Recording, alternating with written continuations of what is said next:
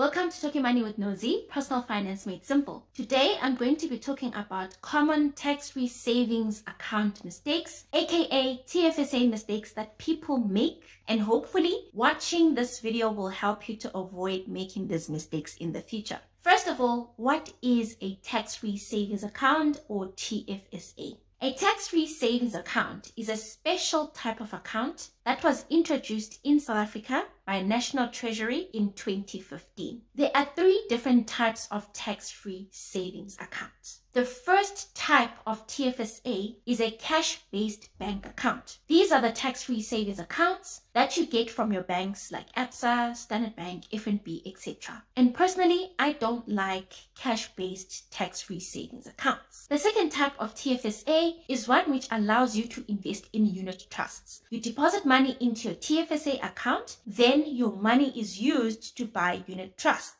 You get these types of tax-free savings accounts from asset managers like Allan Gray, Coronation, Stanlib, etc. Unit trusts are better than cash, but I also don't like them. The third type of tax-free savings account is one which allows you to invest in exchange traded funds, also known as ETFs, that are sold on the stock market. This is my favorite type of tax-free savings account, and I use my Easy Equities TFSA to buy ETFs. And guys, please note that you are allowed to transfer money from one TFSA into another TFSA, but please make sure that it is a transfer not a withdrawal. So the money doesn't come into your bank account first, then into another institution, but it's directly from one institution into another institution. For example, I used to have a cash only TFSA with African Bank in 2018. Then when I saw the light, I decided to ask African Bank to transfer the cash from their TFSA into my Easy Equities TFSA and then I use the cash to invest in ETFs. Please understand that a TFSA is very different from a normal savings account. Otherwise, there'll be nothing special about it, right? Here's what makes a TFSA special. Number one, you can only deposit a maximum of 36,000 Rand between 1 March of one year and 28 February the following year.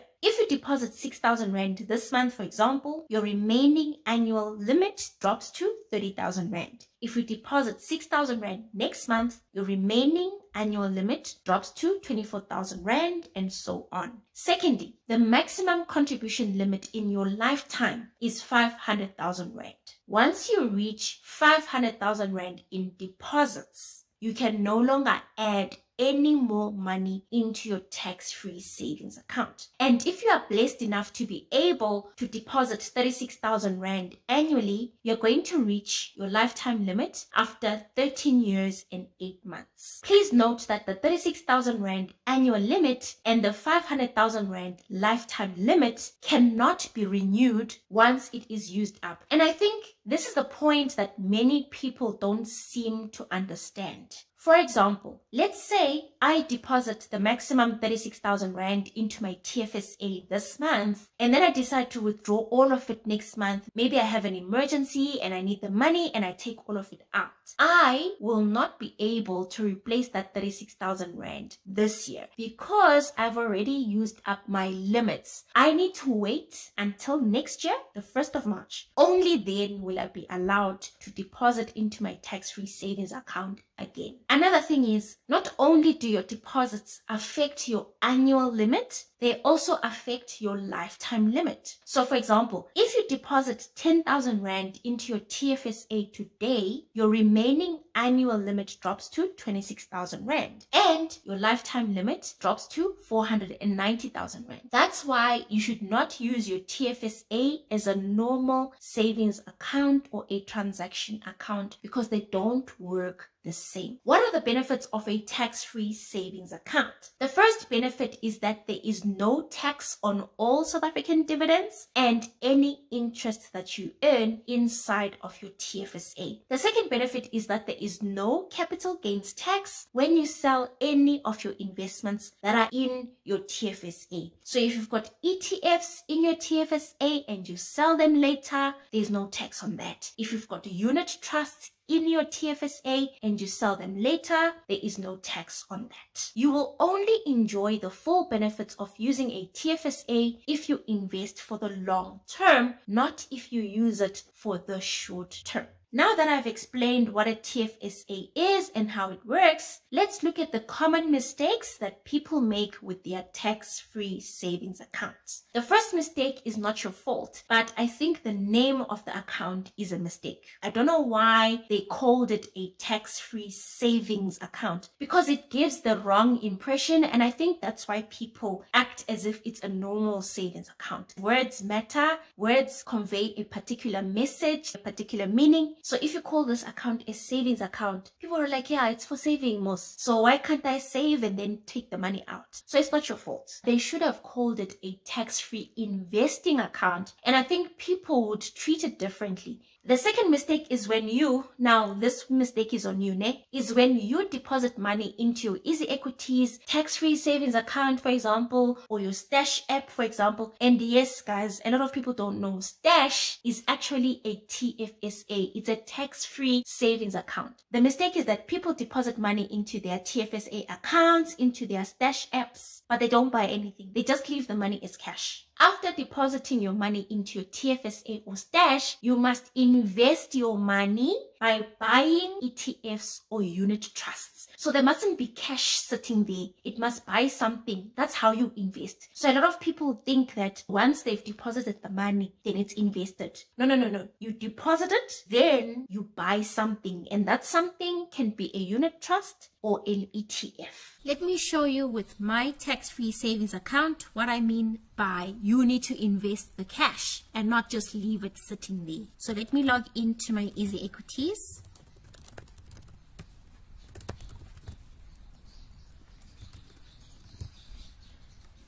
Okay, so in Easy Equities, you've got several different accounts, right? There's the Easy Equities account. There's the TFSA, that's your tax free savings account. And another thing that I want to clear up, guys, the TFSA is an account. It is not an investment.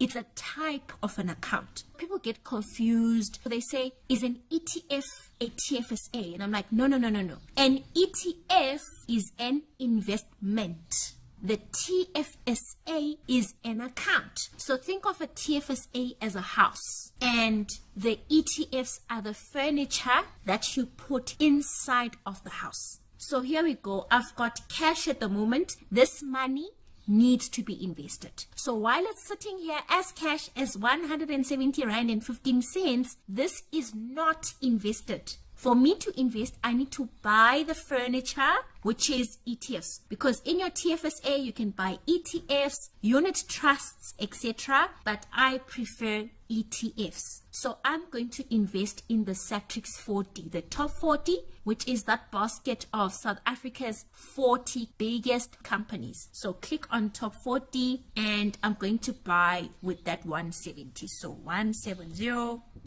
and I'm going to choose the second option, place buy order. And that's how you invest. So now it says funds to invest zero, zero, zero. So I have invested the cash. The whole point why you should buy ETFs or unit trusts is to grow your money above inflation. Cash does not grow above inflation. That's why you can't just leave your money there as cash. If you have a cash-based TFSA, it's time to make a move. It's time to transfer to a provider that has got ETFs or unit trusts. Personally, I'm not saying it's a recommendation. Personally, I use the TFSA on Easy Equities. So once you open your account with Easy Equities, you already have a tax-free account. Then what you can do, transfer from the cash-based into Easy Equities. And when the cash is now on your Easy Equities TFSA, you don't leave it there looking at you. You have to buy, either buy the ETFs or the unit trusts. But personally, I like ETFs. What a break,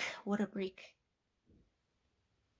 The third mistake is using your TFSA, even your stash. Remember I said stash is also a TFSA. The mistake is using it as a short-term savings account and you're depositing and withdrawing money. You're putting money this month, you're taking it out, you're putting it in. Actually, I shouldn't call this one a mistake. I'm going to call it a crime. Remember, I've already said that any money that you deposit into your TFSA cannot be replaced. Your deposits reduce your annual as well as your lifetime limits and these limits cannot be renewed ever. And if you deposit more than 36,000 Rand per year into your tax-free savings account, your extra deposits are taxed at 40%. Let's use the example that I used in the beginning. If I put in 36,000 Rand this month, I've already used up the deposit limit. And then I take it out because of emergencies, I go and pay whatever. They don't care that you took it out. They only care that when for this year you've already put in 36,000 rand. Then after that you took it out, they don't care.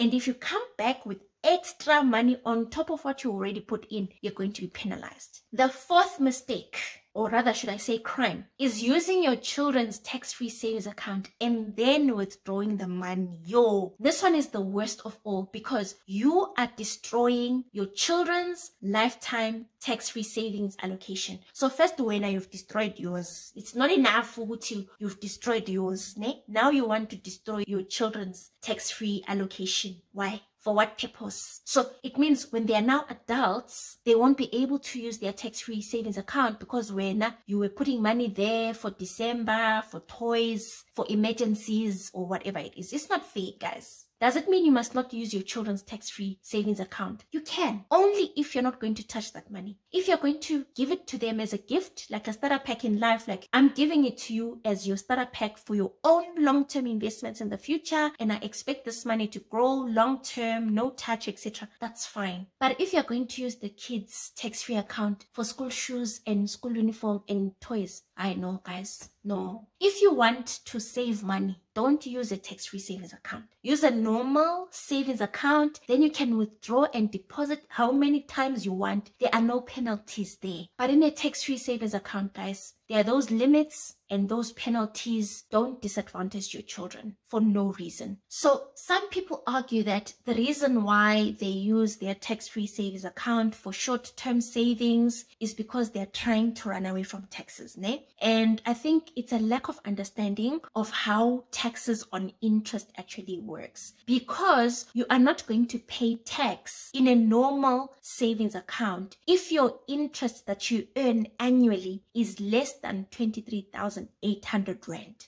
And for you to earn more than 23,800, it means you've saved a lot of money. Think of it this way, ne? Your tax-free savings account only allows you to deposit 36,000 Rand. Let's say I've got 36,000 Rand and I want to save it for short term. If you put it in your tax-free savings account, you've used up the limit. If you take it out, you won't be able to put it back again. So that's a disadvantage. But if you save the 36,000 Rand in a normal savings account, you're not going to pay taxes because the interest on 36,000 Rand is so little. So why are you destroying the TFSA limits when you could just simply use a normal account and not pay tax anyway? So you're not going to pay tax. Okay, if you don't understand, I'm going to do a spreadsheet for you to make it more clear. In this spreadsheet, I'm going to show you how much money you actually need to have saved in your normal savings account for you to start paying taxes. And remember I said, for you to start paying tax on interest, the interest that you earn annually must be more than 23,800 Rand. That's when you start paying tax. So in this table, I show the annual interest rate. This will be the interest rate from your savings account. So whether it's FNB, ABSA, African Bank, etc. Then amount saved is how much money gets you to earn 23,800 Rand. So this is the amount of money that's going to get you to that threshold of 23,800 Rand. And above that, you will start paying tax. If you have your money in a savings account that pays you 11% annually, you need to save more than 216,363 and 64 cents for you to start paying tax on interest. If your savings account pays you 10% annually, you need to save more than 238,000 Rand for you to start paying interest tax. If your savings account pays you 9% annually in interest, you need to have saved more than 264,444 Rand and 44 cents. If your account pays you 8% annually, you need to have saved more than 297,500 Rand for you to start paying tax on interest. If your savings account pays you 7% annually, you need to have saved more than 340,000 Rand for you to start paying tax on interest. If your account pays you 6% annually, you need to have saved more than 396,666 Rand and 67 cents for you to start paying tax on your interest. I hope you get the idea. So can you see how much money you need to actually have saved for you to start paying tax? Unless you have this much money in your normal savings account, you are not going to pay taxes. So there is no need to use your TFSA unnecessarily because your TFSA will never allow you to deposit this much money in one year anyway. You can only deposit a maximum of 36,000 Rand in your TFSA. And if it's for short-term savings, you are wasting it because if you had put that money in a normal savings account, you were not going to pay tax anyway. Do you get it? Do you understand? Tax-free savings accounts are for long-term investing only. If you are still confused about how tax-free savings accounts work, you want to learn more, you can watch my other TFSA videos that are showing on your screen right now. If you want to start investing for the long term and you need guidance, you can buy copies of my ebooks to guide you step by step from my online store. My online store is talkingmoneywithnozi.com. I'm going to leave the link to my online store in the description below. Please remember to like this video and to subscribe to my channel. I'm going to see you in the next video. Bye guys.